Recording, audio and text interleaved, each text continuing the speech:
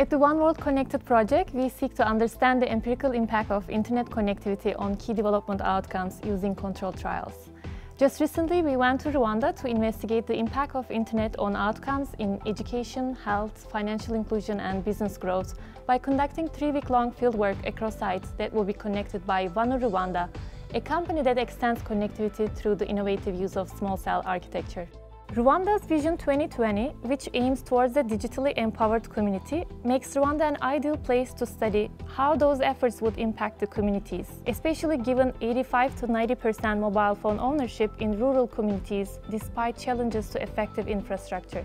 Our goals on understanding the impact of the internet at the community level led us to collaborate with the Minister of Youth and ICT, who facilitated our fieldwork and data collection efforts. Armed with extensive knowledge of the context, we went to the field and conducted observational fieldwork, interviews and surveys at 30 Vanu Rwanda sites.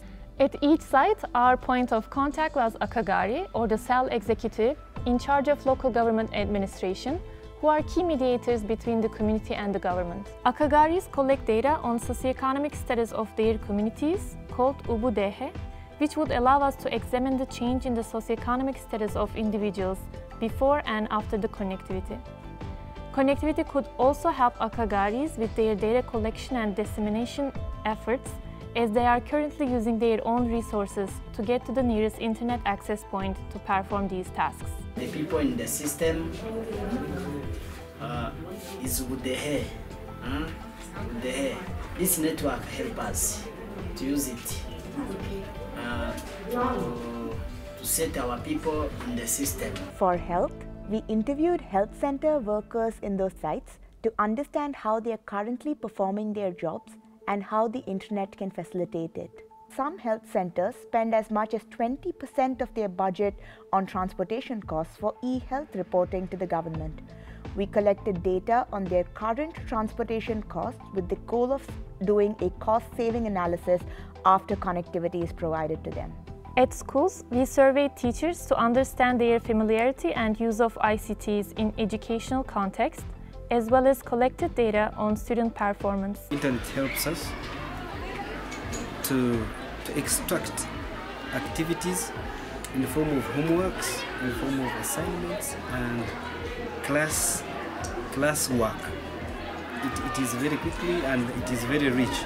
In terms of business growth and financial inclusion, we wanted to examine how internet connectivity impacts businesses in rural communities.